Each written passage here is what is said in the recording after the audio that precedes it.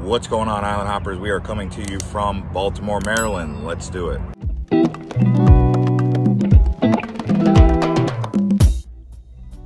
Baltimore is a very culturally rich historical city on the east coast of the United States, just north of Washington, D.C. As you can see here, home to Fort McHenry, where Francis Scott Key wrote the Star Spangled Banner as well as several other historical people, including Edgar Allan Poe, who wrote The Raven, which is where the Baltimore Ravens get its name from the poem by Edgar Allan Poe.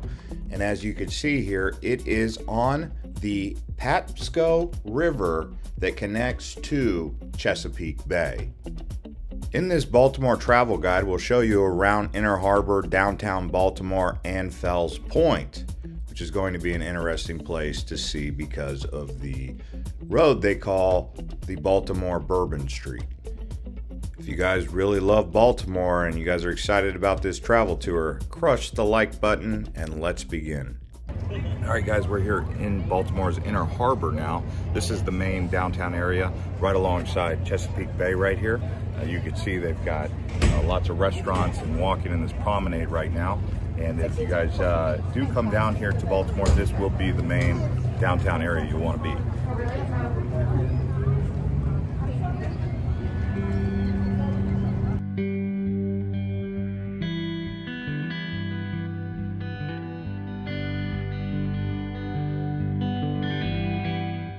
As you guys know, there's a great deal of maritime history here in Baltimore. This ship right here, the USS Constellation, was an anti-slave trade ship. So what its purpose was to sink any ships that were bringing in illegal human cargo. And that's what the Constellation was known for, sinking slave ships. Now, as many of you all know, Baltimore is known for its food scene. We arrived in Baltimore fairly early in the morning on an Amtrak from Washington, D.C., so not a lot of the restaurants were open on this Tuesday afternoon when we were here, but we did end up finding a restaurant right here in Inner Harbor to go get some food. And uh, yeah, I did have an appetite and was ready for some Baltimore grub. I got a grilled cheese tri-tip. Really good. And here's some fish and chips at the Tir Na Nog Irish Bar and Grill in Baltimore, right here on Inner Harbor. And what we're going to do now is actually take the water taxi over to Fells Point uh, just to show you guys what it looks like when you do that. It is $15 one time ride per person each time you get on it, so there is no such thing as a day pass for the water taxi. You have to pay each time you use it but it is a good way to see Inner Harbor. And if this is your first time to Island Hopper TV, consider subscribing and liking the video if you're enjoying this film so far.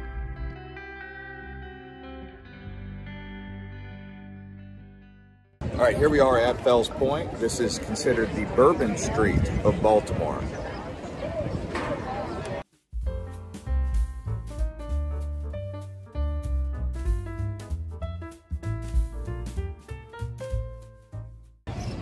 You can see out here on Fells Point, they have these old cobblestone rock uh, driveways, roadways with the old railroad.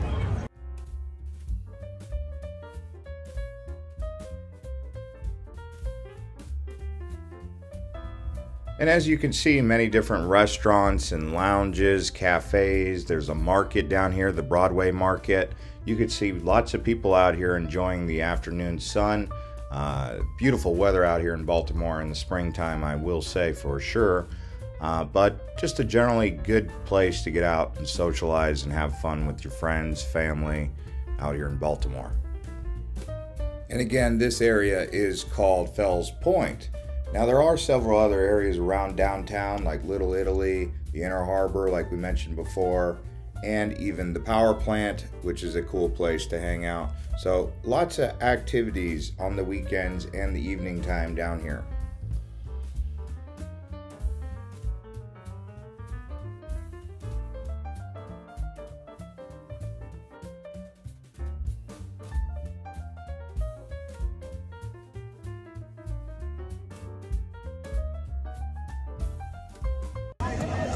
So here we are at the Broadway Market. This is like a farmer's market, especially on the weekends. But this area, this road right here is called Broadway.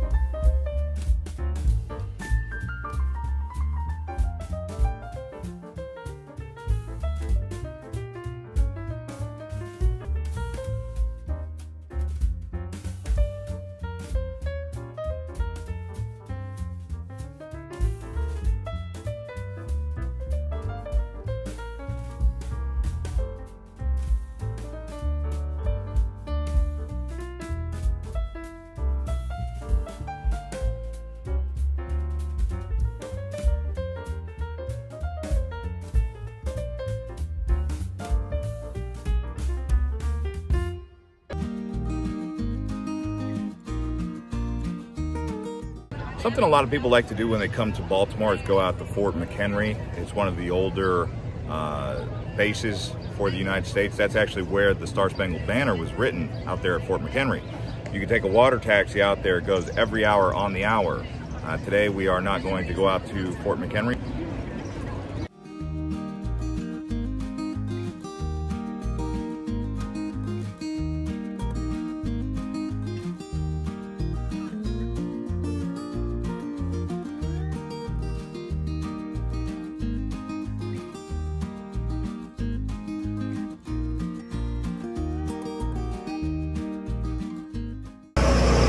Can see it's hard work keeping Chesapeake Bay or the river here actually. You can see this guy's looking for uh, pollution.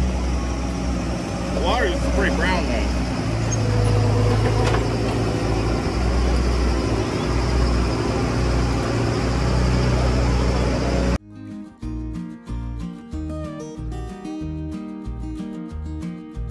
Okay, so if you look straight across the bay there, across the river actually, you can see Under Armour. That's the franchise headquarters, corporate headquarters right there, Under Armour. About Michael Hankin, he was the one who had this vision to clean up Baltimore Harbor and make this area more walkable and livable. And because of him, uh, you know, Baltimore is in the shape that it's in today, which is pretty good shape.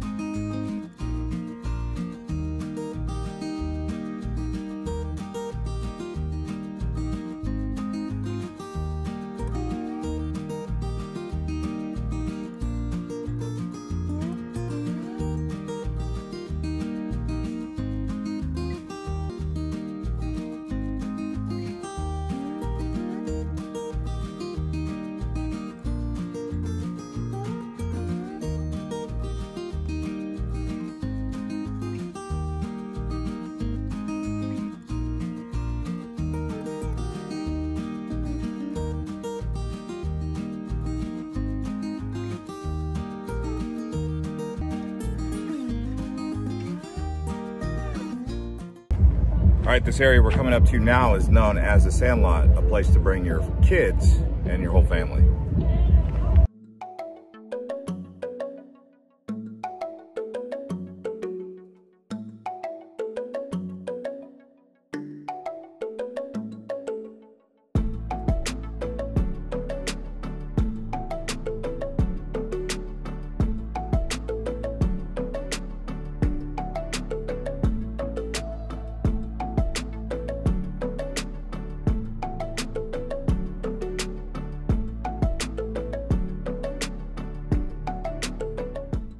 All right, just some quick facts about Baltimore. It was founded in 1729. It is one of America's oldest cities, but it's the 30th largest population uh, density city with 500,000 residents. But if you include the entire metro Baltimore area, that's about 2.8 million.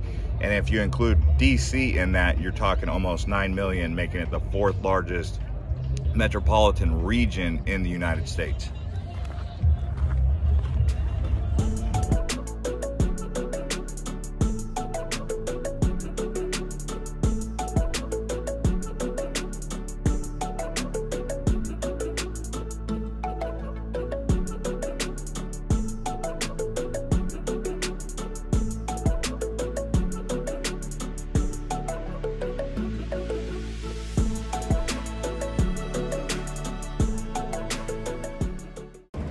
Memorial is for the uh, Katyn massacre that happened in Poland. If you guys want to do some research, look it up. K-A-T-Y-N.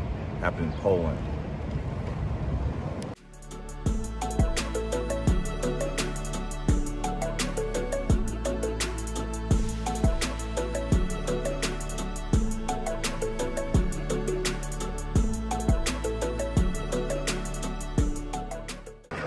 Fun fact. Some people who come from Baltimore, Babe Ruth, David Hasselhoff, and Edgar Allan Poe. As you can see behind me though, these kids, they're taking their little boats, these ducky boats around the river area, or I would call it Chesapeake Bay, but it's more of a river.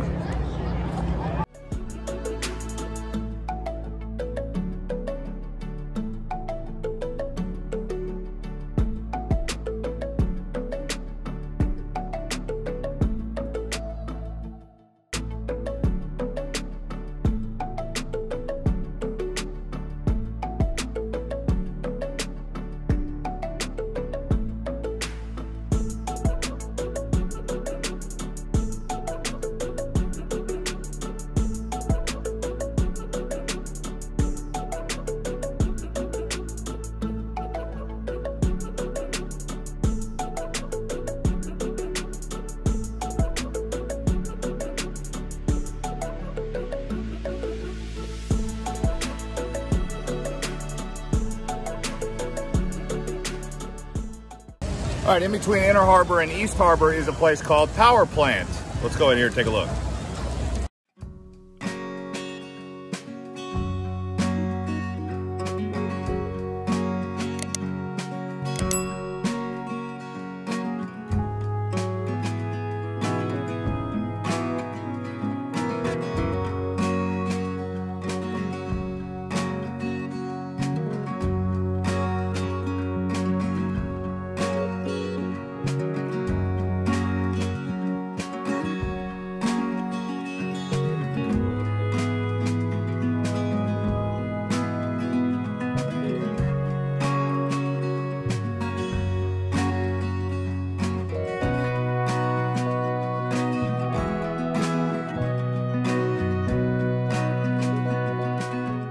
As you guys know, when you come to Baltimore, seafood is a big part of your experience. Right here is Phillips. So if you guys are looking for one of the most popular restaurants, it's right here, and it's called Phillips. Next to the Hard Rock.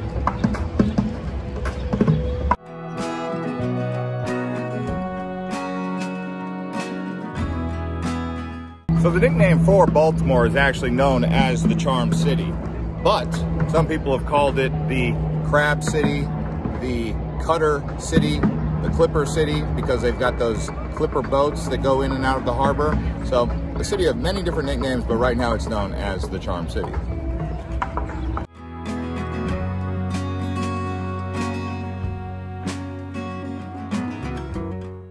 Right here behind me is a piece from the World Trade Center. And if you look up, this is the Baltimore World Trade Center, the world's tallest five-faced building. And it just so happens to be here in Baltimore at the World Trade Center.